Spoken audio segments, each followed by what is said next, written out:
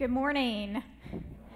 I'm Pastor Lily Kalz. I'm one of the co-lead pastors here at Madisonville First United Methodist Church, and um, you know what a joy it is. You know, it's remark. You know, it's remarkable today, uh, just in worship.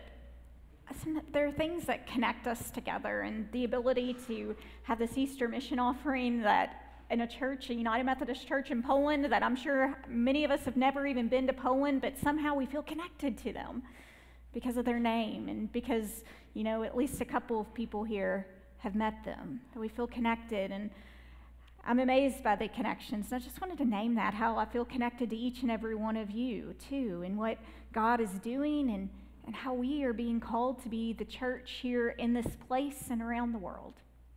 It amazes me sometimes. It amazes me. We're going to be continuing a sermon series today on holy interruptions. Don't worry, you're not going to get rudely interrupted today. I won't make you jump out of your seats today. But uh, we're going to be looking at a scripture passage from the Gospel of Mark. It's a familiar passage to many of us. Um, and it's where Jesus heals a paralytic. And so let us hear now the word of God for us today. When he returned to Capernaum after some days, it was reported that he was at home. So many gathered around that there was no longer room for them, not even in front of the door, and he was speaking the word to them. Then some people came, bringing to him a paralyzed man, carried by four of them. And when they could not bring him to Jesus because of the crowd, they removed the roof above him, and after having dug through it, they let down the mat on which the paralytic lay. When Jesus saw their faith, he said to the paralytic, Son, your sins are forgiven. Now, some of the scribes were sitting there questioning in their hearts, Why does this fellow speak in this way? It is blasphemy. Who can forgive sins but God alone?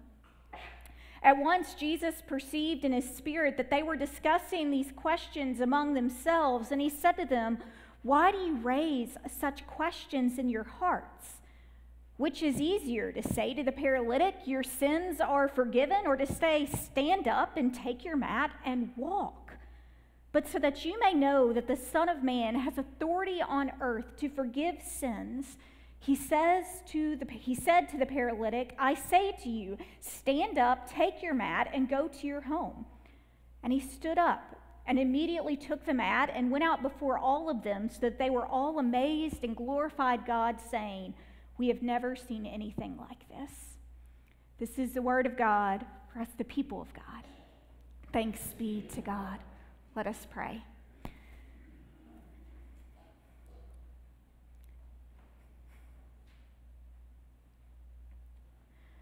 Dear Jesus, sometimes we need you so much that it's worth breaking down walls and barriers to get there, to get to you. And so, Lord, I just, I pray today for those in this place or those listening online that have some barriers that need to be broken through today, even if it's a little messy. Lord, interrupt us today. Show up in our lives. Help us to hear you. Help us to see you. Redirect our attention to what your will is and help us to follow it. And may your word show us how we can and how we should. May the words of my mouth and the meditations of all our hearts be pleasing to you, O Lord, our God, our rock, and our Redeemer. Amen. Some people had a friend who was paralyzed, and they wanted to get their friend to Jesus because they thought that Jesus would be able to heal him. But they couldn't get to Jesus. They couldn't get to him. And so they decided to go about with a more creative solution. Now, we may not think of, you know, digging a hole in the roof of a house as something that we would do as a creative solution or something that would be easy at all, but houses in those days were commonly constructed by having this flat roof that was often used as an additional open living space. Think of something like a rooftop deck, all right? Something like that. And there would have been steps on the outside of the home in order to access this space. This was a very common way that homes were built. And uh, so they would have gotten up there and they would have been digging through the roof. And we again think, well, that's a lot of stuff to dig through. That's had to have taken forever. But actually, again, the construction of that day, these houses, these roofs, they would have been made of a mixture of brushwood and clay. And so it was enough to keep the elements out. It was enough to be able to, it was sturdy enough to walk on or even sit things on. But if you chipped away at it a little bit, you can get good chunks of it. And so eventually it was easy to dig out. Roofs were easy to dig out. But it still would have taken some time and it would have made a mess on the inside of the home. And Jesus would have been teaching. And you can imagine me up here preaching, all of a sudden, little bits and pieces of the ceiling. We would think something was majorly wrong if that happened here, wouldn't we? But these little, little bits and pieces, and sometimes there would be some bigger pieces, and they're falling all around him. And they say the house was so crowded, you imagine it's falling on people's heads. Even they're like, what's going on? What is this dirt coming from? And so I'm sure people were distracted and probably a little annoyed by it. After all, these people digging a hole in the roof, they're interrupting the teaching of someone that they really wanted to hear. And it wasn't just someone shouting at Jesus at the side of the road or sneaking up behind him in a crowd to touch his cloak. This was a messy, in your face kind of interruption. It was impossible to avoid it. It made a big mess of things. And I know me personally, I don't like messes. I don't. At home, I will ask my children to clean up a mess in the house, and I normally get one of two answers. The first is, What mess? What mess? Yes. Well, you know, those toys that you're tripping over, or this bag of food that for some reason is just spreading crumbs all over, that mess drives me up the wall. It does. But the second response that I can get from them is just as bad. That's not my mess. Or the similar, I didn't do that, so why do I have to clean it up? Anyone ever hear those words? Anyone? I feel like a lot of my life is spent dealing with and cleaning up messes. You can look at my pew on your way out just to get an idea of that. And even if it's not children in your house, perhaps it's a spouse or other family member or friends or coworkers or maybe even a pet, but it feels like there's always something or someone to clean up after. It never ends. And it's not just the everyday messes of life that get in the way. Our lives are filled with interruptions, and oftentimes, just like the mess of a roof being dug out, those interruptions, they make a mess of things. They make a mess of our plans and our dreams. They can cause minor and major detours on our perceived trajectory of our lives. Messes can be made of our relationships, our bodies, our societies, and our ways of thinking and these normal modes of operation. Messy interruptions can be very personal to us, and at the same time, they can affect entire communities. Messy interruptions, in some cases, can be caused by our own personal action or inaction, but more often than not, situations and circumstances outside of our control are the things that cause us the most frustration and pain. We didn't make this mess and yet we're the ones left standing to deal with it. We didn't ask for this, but it's ours, anyways. And I bet Jesus felt like that too. His entire ministry was about getting interrupted by and cleaning up messes he didn't make. And our scripture reading from today is this perfect example that provides even some beautiful parallels to some of the messy interruptions that we experience in our lives. Because sometimes the messes that interrupt him, they're these literal messes, like a roof falling in and getting dirt everywhere in a home. They're literal messes we have to deal with. Sometimes there are these medical messes, like the broken bodies of friends and family that we feel compelled to care for. And we'll do anything, including breaking down walls or roofs, in order to get them the help they need. Other times it's spiritual messes, like the religious scribes being so caught up in thinking that Jesus was making a mess of sound teaching by taking on the authority of God and forgiving someone's sins that they couldn't see God in human flesh standing right there in front of them. What is to be done when these messes are made? What are we supposed to do when these messes happen and they throw us off balance? What does Jesus have to say about how to deal with them?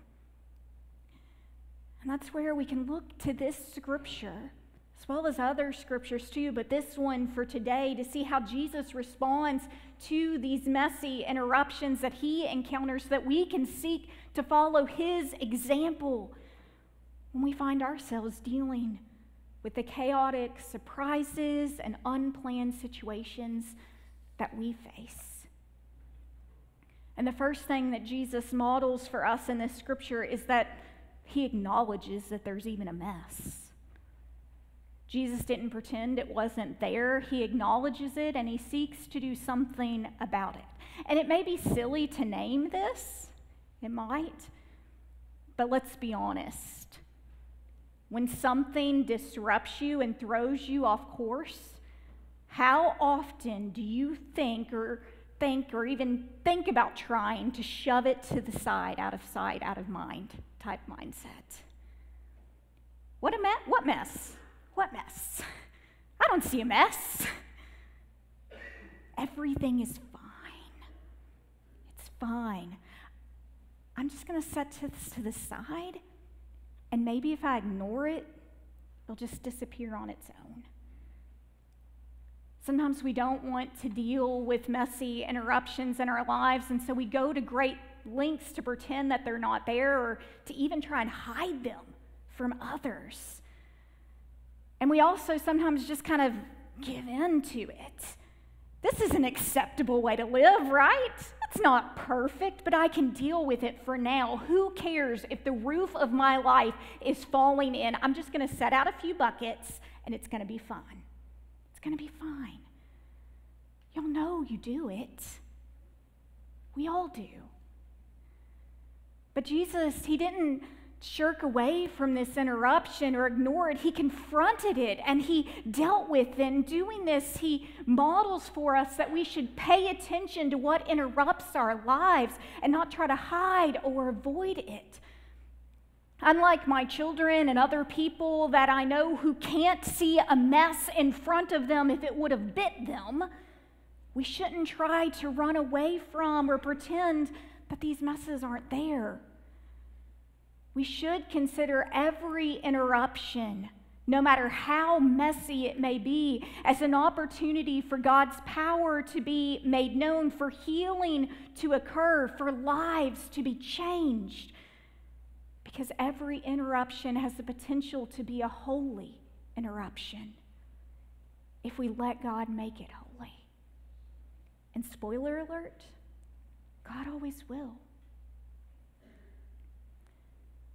And secondly, Jesus models in his response to those who are interrupt who have interrupted him how faith faith helps us to deal with interruptions. There are so many striking things that happen in these 12 verses, but one of them was the motivating reason for why Jesus chose to respond to the paralytic man. It wasn't the actual mess the paralytic friends made. That's not actually what Jesus said made him pay attention. It wasn't even the paralytic man himself, but it was the faith of his friends that Jesus noticed, that scripture tells us. Faith that compelled them to do whatever it took to get their friend to Jesus because they believed Jesus could do something for him. Their faith that drew Jesus' attention to the mess, it caused them to go to great lengths to be creative and risky. Their faith is what gave them the hope that Jesus could actually do something.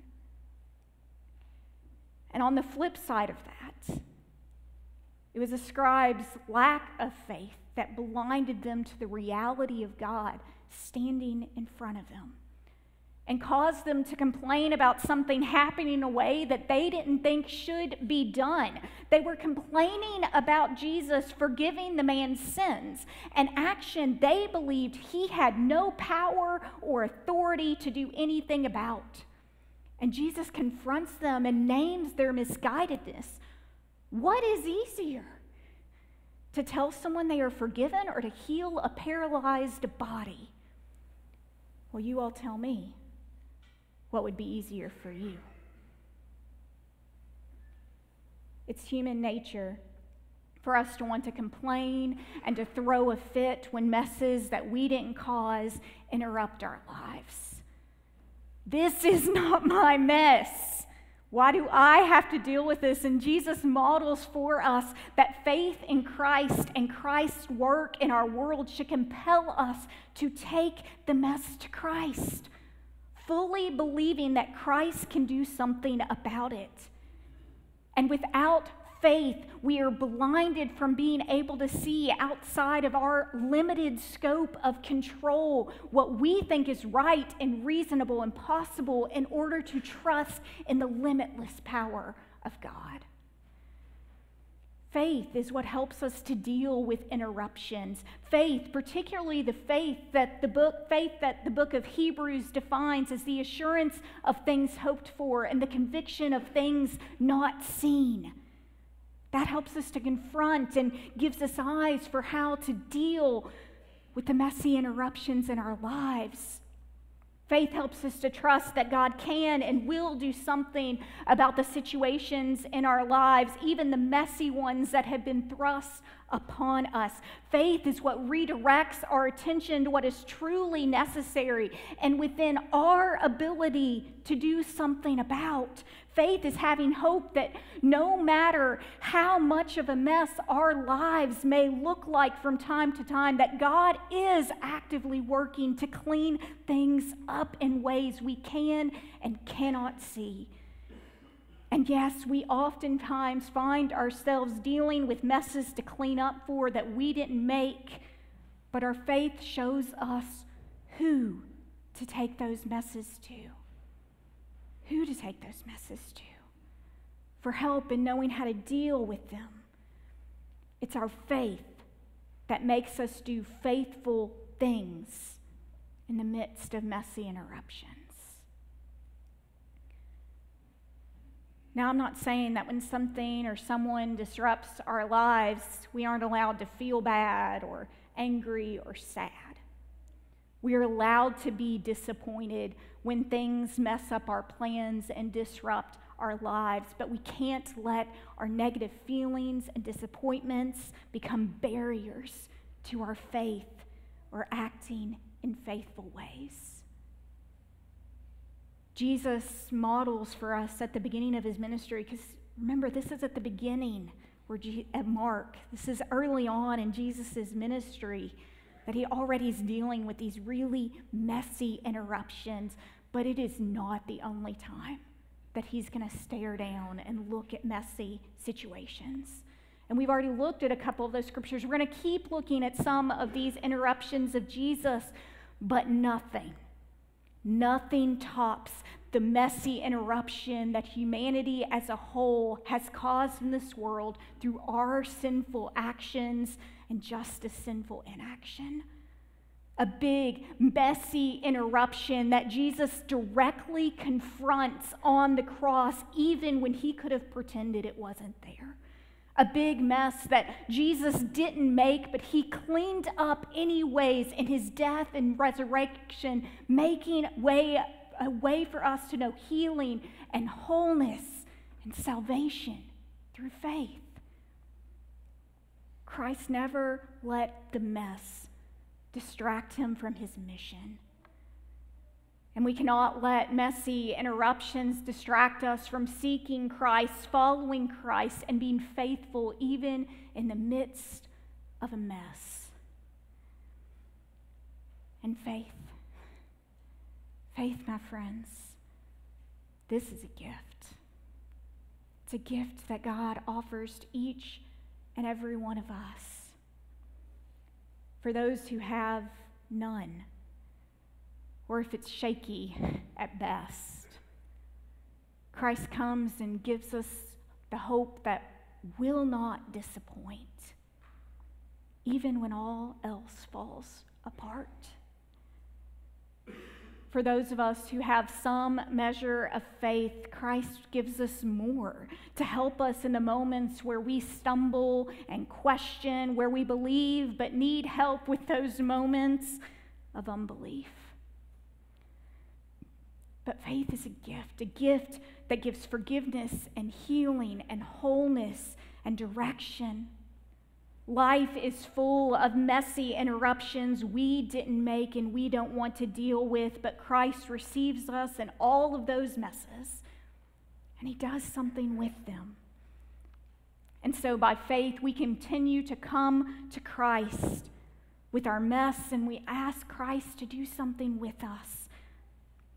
And our faith tells us that God will walk alongside of us, helping us to stand up and walk when those messy interruptions come our way.